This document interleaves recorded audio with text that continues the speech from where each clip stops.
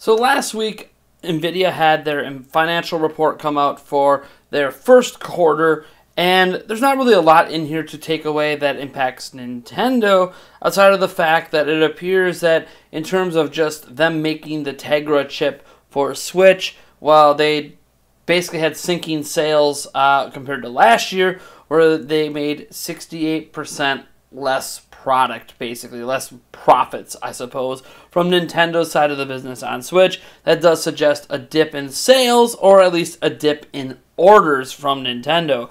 However, they did note at the time that they did expect orders to be massively increased for quarter two when it comes to Nintendo in particular and beyond that. And they didn't really specify why, of course, because, well, Nintendo is going to have to tell you why. And I firmly believe this might mean that the Switch Mini and or Switch Pro or both might be going into mass production because the current Switch is actually having an increase in sales year over year, but Nintendo's order for those specific chips is actually much smaller.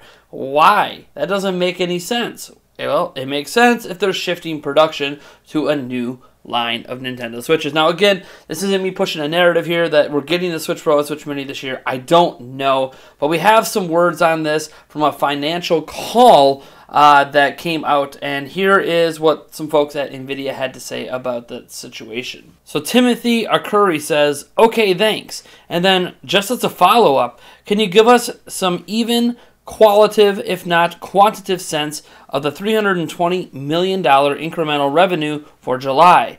How that breaks out is the thinking sort of that the data center is going to be flat to maybe up a little, and pretty much the remainder of the growth comes from gaming. Thanks. Colette Kress says yes. So when you think about our growth between quarter one and quarter two, yes, we do expect in terms of our gaming to increase. We do expect our Nintendo Switch to start again in a sizable amount. Once we move into quarter two, and we do get at this time, expect probably our data center business to grow. Toshiya Hari says, Thank you. As a quick follow up on the gaming side, Colette, can you characterize the product mix within gaming? You saw it in the current quarter. You cited mix as one of the key reasons why gross margins were down year over year, albeit off a high base going into quarter two in the back half. Would you expect SKU mix within gaming to improve or stay the same? I ask because it's important for gross margins, obviously. Thank you.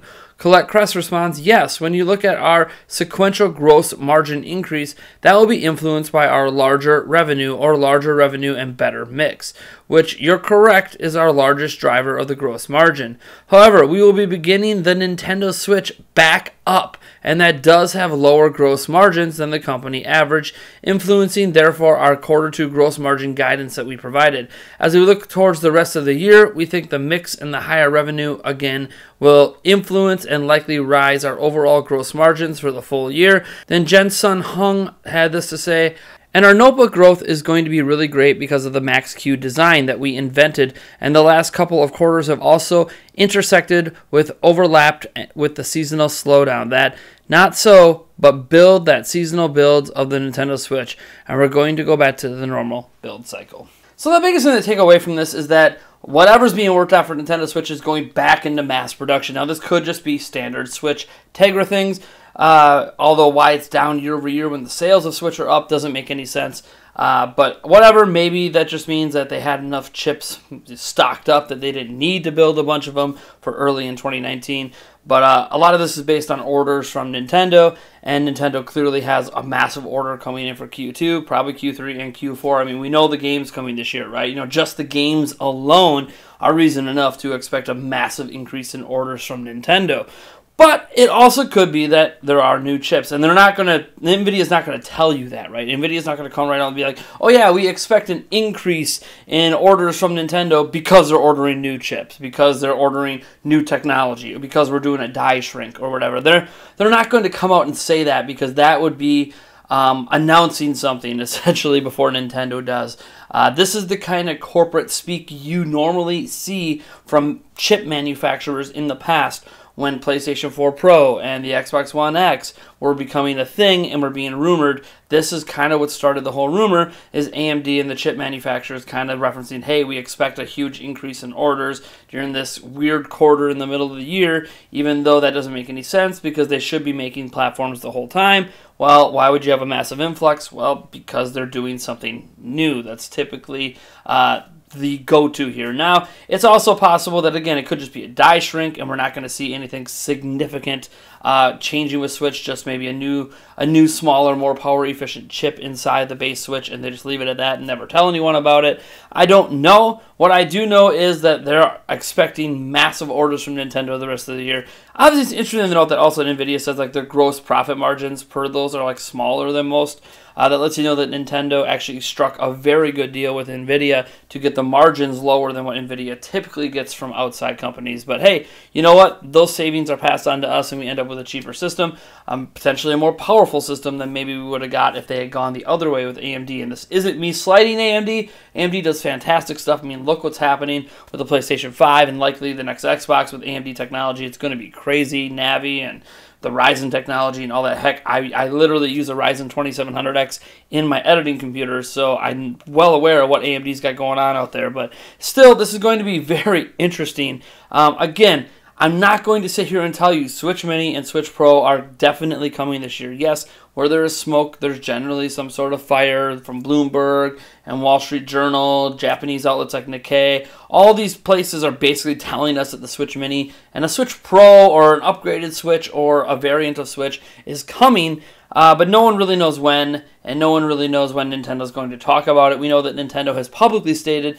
that they're not going to be talking about hardware at E3, so maybe that kind of takes that expectation off the table. Uh, but I don't know. I kind of want to just bring up this conversation one more time because we're not going to get, I think, any new information on a Switch Mini or a potential Switch revision until Nintendo announces it. I think this is one of the final times you're going to hear a piece of news that in hindsight, you know, six months from now, might have been a reference to the Switch Mini and Switch Pro without being able to say the names.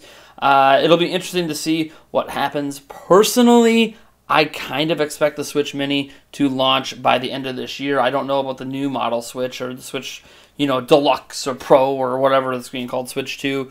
Uh, but I do think the Switch Mini will end up launching in time for Pokemon Sword and Shield. I think it makes a lot of sense. Try to get a $200 Switch out there. Uh, that's just my, you know, predicting that Nintendo knows how well Pokemon's going to sell, especially if there's a $200 version of Switch out there. That being said, I'm going to just toss it to you guys. I really want to know your thoughts on all of this. I also want to remind you to enter our Nintendo Switch Super Smash Bros. Ultimate Bundle giveaway through the Gleam.io link down in the description. It is a 50,000 subscriber giveaway, so if we ever actually hit 50k, which has been a little weird, we've been ebbing and flowing over the last few months. Like, uh, I think it was not last month. Last month we ended up gaining four or five hundred new subs. The month before we lost 200. This the last month we lost like 140. Uh, there's been a lot of purging going on, and YouTube, by the way. Like this isn't even me saying like, oh my gosh, the channel is doomed. Well, on the 14th of May, not everyone's aware of this. Uh, the gaming subscribers and YouTube subscribers were kind of kept separate. Uh, so your total subscriber count on your channel was right, uh, but they kind of separated out. So, like, because my channel is listed in the gaming category, uh, there's subs here, and then I might have had some subs before we were listed in the gaming category. Well, they combined them all together, and when they did that, it caused massive sub drops at a lot of gaming channels, mine included. another notable one who's actually spoke out publicly on this would be like Rich from ReviewTech USA as well, has just been consistently losing tons of subscribers every single day, as have I. And I think part of this is because in merging the two sub counts, YouTube's just going through a massive purge of the subs since they happen to be looking at them this month. Uh, so a lot of my sub loss over the past, you know, when people look at the sub count, like, when's he going to hit 50k? Why does he keep going down? Well, again, um, there's just a lot of purging going on as YouTube is basically eliminating the gaming only subscriber thing and just making it one universal subscriber count, which maybe that'll actually help with um, reach of videos, maybe more notifications, more recommended, uh, more times my video actually showing up in your subscription feed, even though it should just be by being subscribed. It's not always the case. This is where I remind you hit the bell icon that's supposed to guarantee you get notifications, but it doesn't, so that sucks. Uh, but yeah, I don't know. I'm just letting people know not to panic. I've had a few people message me like, "Hey, why do you keep losing subscribers?" Like, even if you have a content, you know, some a video with misinformation, you still have all this other great stuff. Uh, and honestly, it's just that. It's that YouTube's combining things together and subscriber purging, and we're just not gaining new subscribers at a faster rate than the purge. It'll eventually turn around. I expect sometime in June.